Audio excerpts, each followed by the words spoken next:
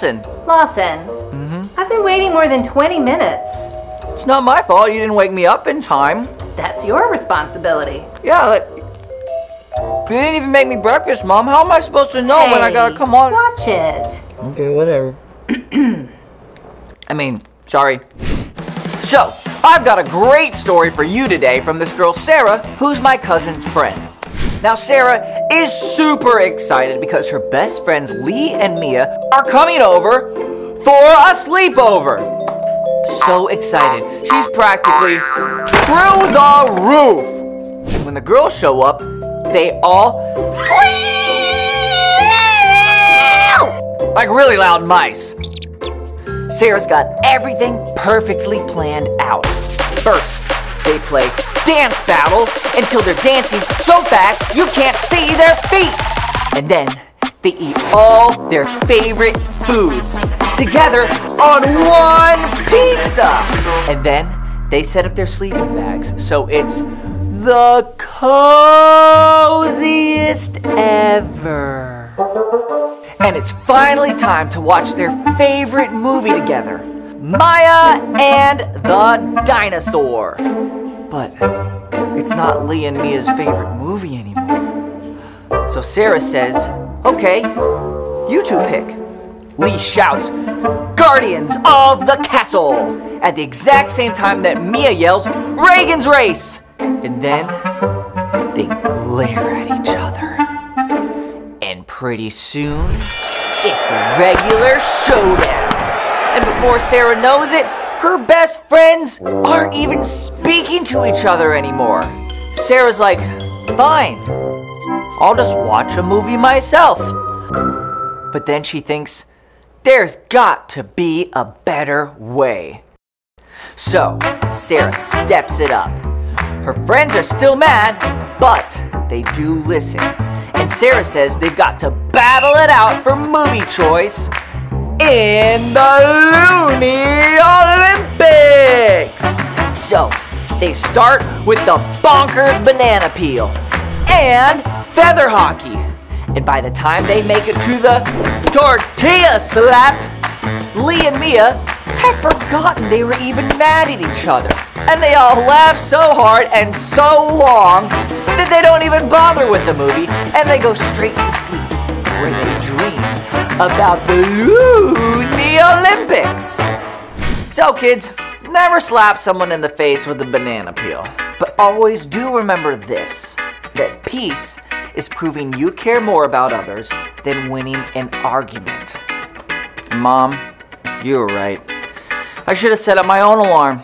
That's okay, kiddo. Adulting is hard. Kiddo? Yep. Well. Alright. I'll see you next time. Hey, wait, how is this peeled? There better not have been feet involved.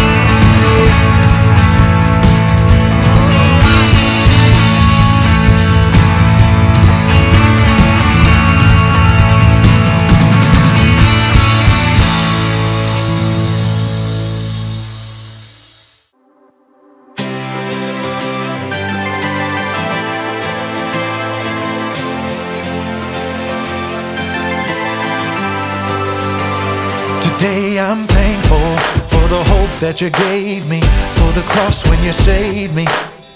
You're the friend I call my own. Now I know I'm not alone. So thankful for your love on display, and it will never go away. You're the reason for my song. Now I know we all belong. You showed me what peace is all about. It's my turn to go and live it out. Jesus, you're the way without a doubt. I'm gonna love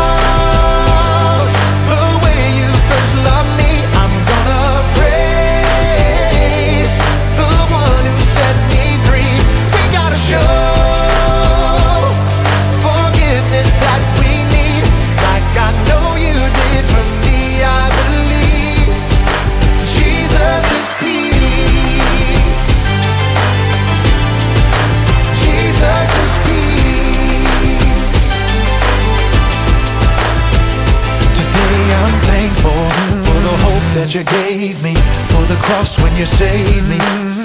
You're the friend I call my own. Now I know I'm not alone. So thankful for your love on display, and it will never go away. You're the reason for my song. Now I know we all belong. You show me what peace is all about. It's my turn to go and live it out. Jesus, you're the way without a doubt. I'm gonna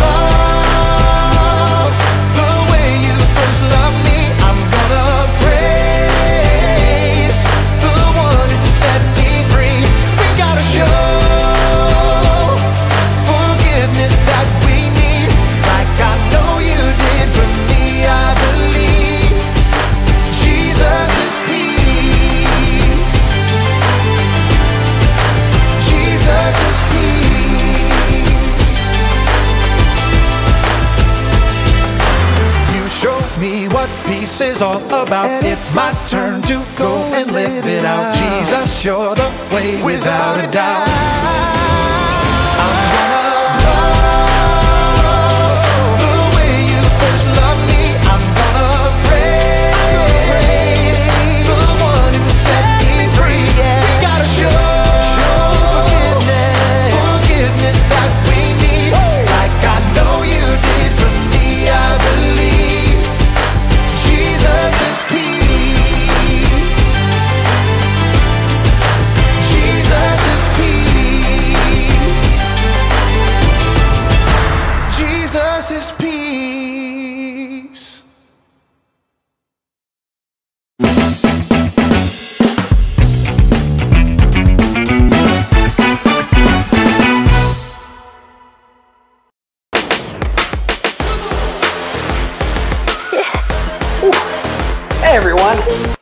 Welcome to Story Lab. This week we're talking about peace, while we take a look at the story of a very courageous woman who raised the volume in a creative way to solve a big problem.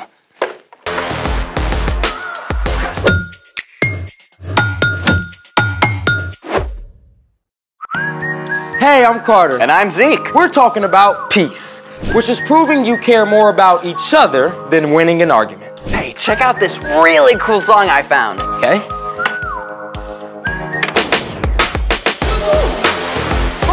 Huh? Yeah, yeah, but, now I can't hear anything.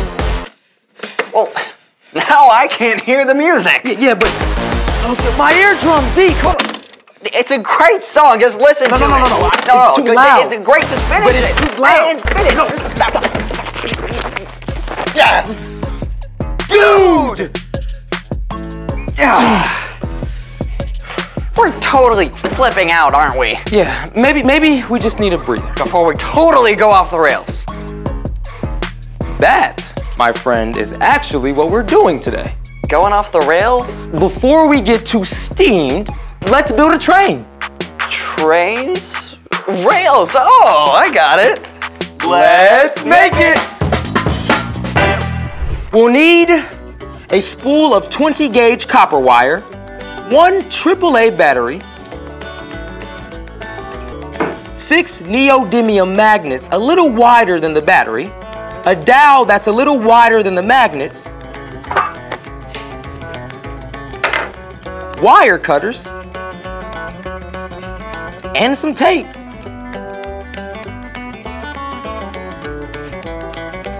Oof, I should have found all this stuff first. All aboard! Whoa! Thanks, Zeke! Let's do this! First, tape one end of the wire to the dowel rod.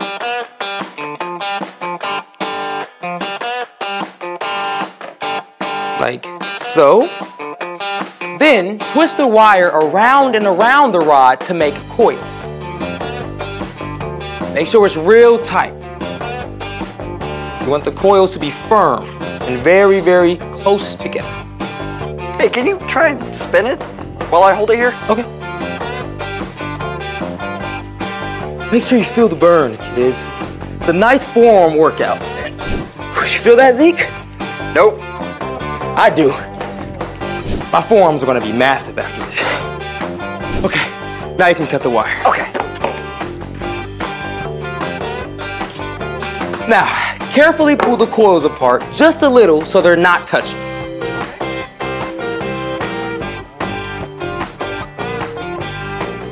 So coily. Hmm? Oh, oh, wait!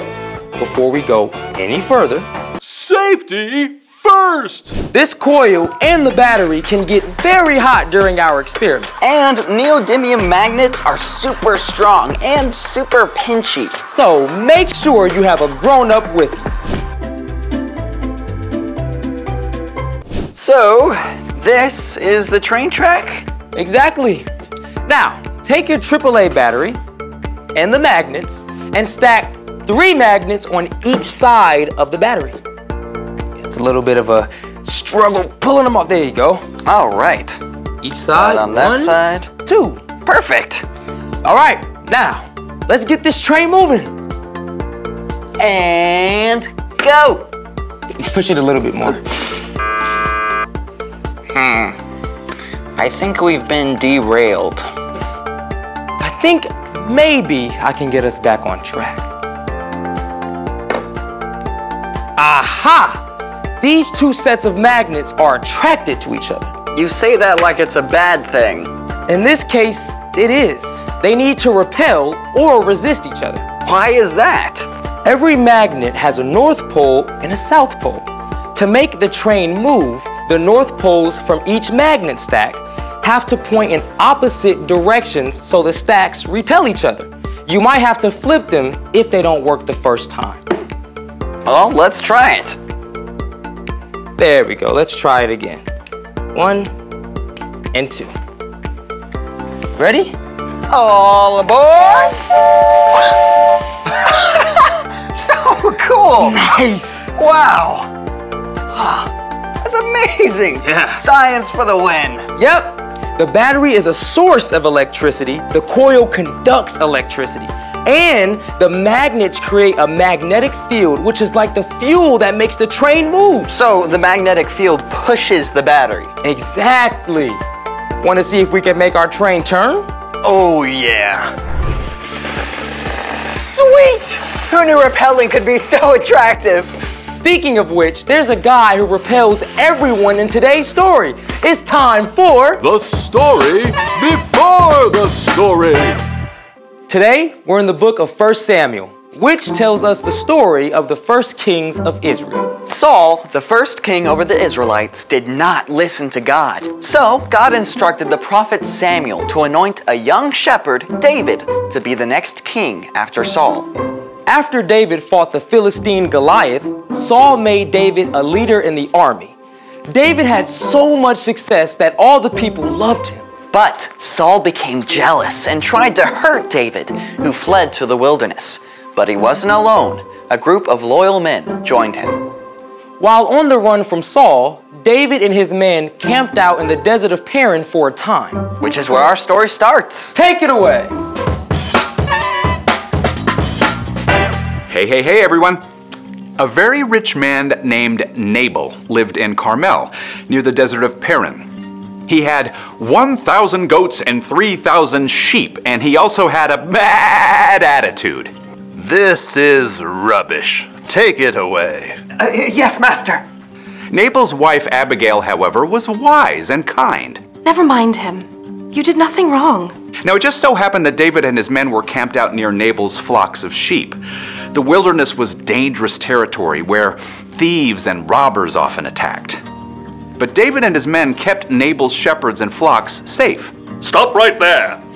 While David stayed there, not a single one of Nabal's sheep was hurt or stolen. And at the end of the season, it was time to shear the wool off the sheep. This was a festive time for everyone. Nabal called for a big party to celebrate his success. David heard about the shearing and knew that he and his men had helped Nabal to be successful by protecting his sheep. So David decided to ask Nabal to share food and supplies with his men. Go up to Nabal at Carmel. Greet him for me. Say to him, May you live a long time. May everything go well with you and your family. David sent several of his men with this greeting and a request. But if they expected a warm welcome, ugh, they were mistaken. David says, When your shepherds were with us, we treated them well. Nothing that belonged to them was stolen. So please be kind to my men. Please give us whatever food you can find. Instead of listening to reason, Nabal roared. Who is this David? Many servants are running away from their masters these days. Why should I give food to men who come from who knows where? When David's men returned with this response, David was furious. Each of you put on your swords! David gathered 400 men to march to Nabal's home. It seemed that no one could stop the coming explosion between David's angry army and the stubborn Nabal. Uh, that is, until Abigail heard what was happening. David sent some messengers to our master, but Nabal shouted at them. David's men were very good to us. They, they kept us safe. Now horrible trouble is coming. Please see what you can do. Don't worry. I have a plan. Abigail directed her servants to load up donkeys. Let's see. Bread, raisins, figs, sheep. Well done. You go ahead. I'll follow you. Abigail sent the donkeys ahead with gifts for David. As she rode her donkey down the mountain, she could see David's men entering the valley from the other side. Everything we've done hasn't been worth a thing. I watched over that fellow's property in the desert, but he has paid me back evil for good. Now I'll make him pay. Look, sir, there's a whole train of donkeys ahead. David may have been surprised by all of these donkeys bringing gifts of food, but he must have been shocked when Abigail showed up behind them. Who is this woman? She's the wife of the man who insulted you. Let me take the blame myself. Please don't pay any attention to my husband Nabal. His name means foolish person, and that's exactly what he is. I'm listening. Sir, the Lord has kept you from using your own hands to get even. I've brought a gift for you and the men who follow you. The Lord will appoint you ruler over Israel.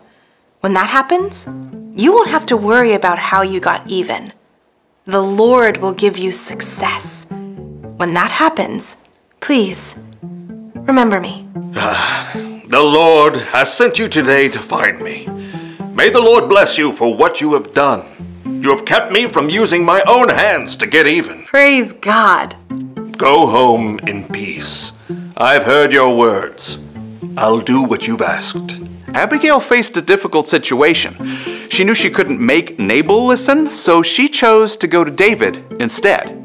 She stepped up with courage and creativity and stopped what would have been a terrible fight. The end. Wow, that was a close one. Yeah, Abigail kept her cool and was able to find a peaceful solution to a big problem. So, What's our part in this story? Well, like Abigail, you can help others make peace when they don't see eye to eye. maybe if your friends are arguing over what movie to watch, you could suggest a different movie that you all like. Or even a totally different activity. Some of my friends get very intense when we shoot hoops. So I try to make everyone laugh and remember it's just a game. Then we all chill out and it's fun again. What about the times when trying to make peace doesn't seem to work? Well, that's a great time to bring in a grown up to help. Yeah, like a parent or guardian or teacher. The most amazing peacemaker of all was actually born into David's family line about a thousand years later. Can anybody guess who it is? Jesus! That's right. Jesus made a way for us to be in relationship with God, no matter who we are or what we've done. And because of Jesus, we can have peace with God. And that fills me with peace. Same. Well, guys, it's been fun. Thanks for having me. See you next time. So, here's the thing you can help others make peace. Even people who sometimes repel you. Peaceful. I think we need a soundtrack. Doesn't have to be quite that loud. Perfect. Thanks for joining us in the Story Lab. See you next time. Peace! In today's Bible story, we saw how Abigail stepped into an argument between David and her husband and made peace. God gives us the power to bring peace to difficult situations. So, our start the conversation question is How can you be a peacemaker? You see, when we have the Holy Spirit living inside of us, Jesus' peace can reign in our hearts, and we can share that with others.